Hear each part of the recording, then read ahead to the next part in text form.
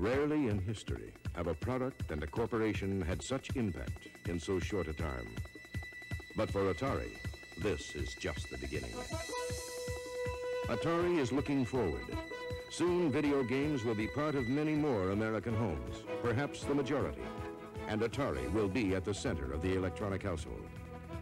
Atari's strategy for the future is based firmly in the present, in a thorough understanding of consumer responses to video games, to the video computer system, to Atari. Atari's Consumer Research Department is working hard to broaden and deepen this understanding.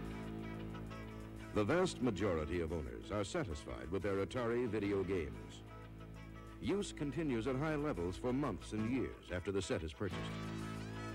The typical purchaser buys several cartridges initially and a new one every three months. Clearly, the concept of a programmable game player with interchangeable cartridges is an enormous success.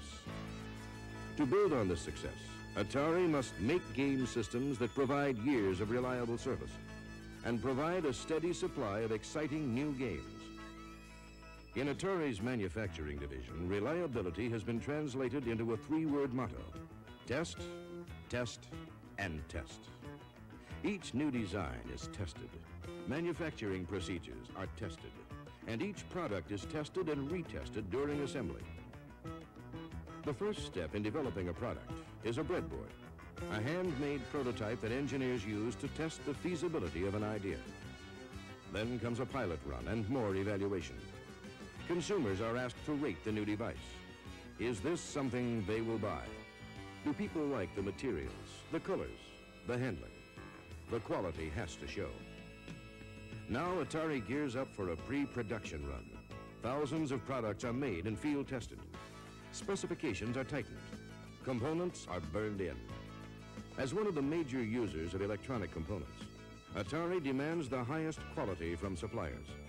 Each chip, each capacitor, each resistor must be stable, dependable, ready for years of heavy use.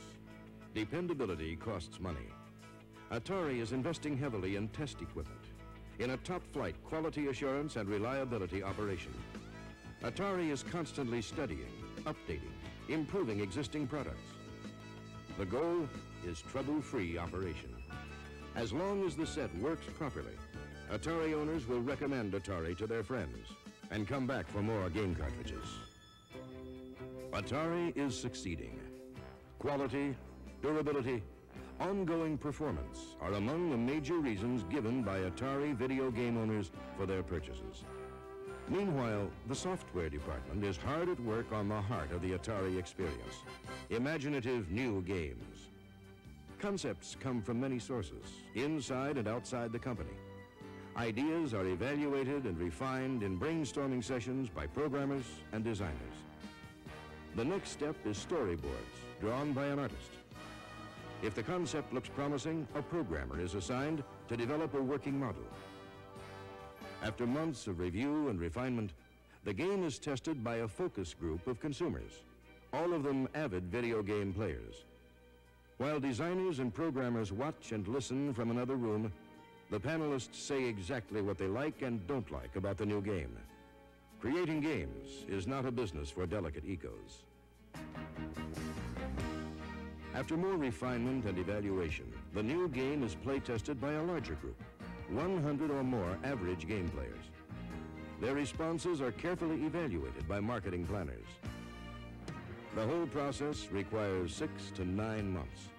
But when it's over, Atari has a reliable, objective measurement of a new game's potential. What makes a successful game? Challenge, excitement, sounds, action. Marketing researchers offer these guidelines and more specific recommendations for new generations of video games. Games that will make video games part of more lives, open the doors of more homes, keep people involved with their Atari products year after year. It's a long-term strategy, a carefully planned strategy, a winning strategy.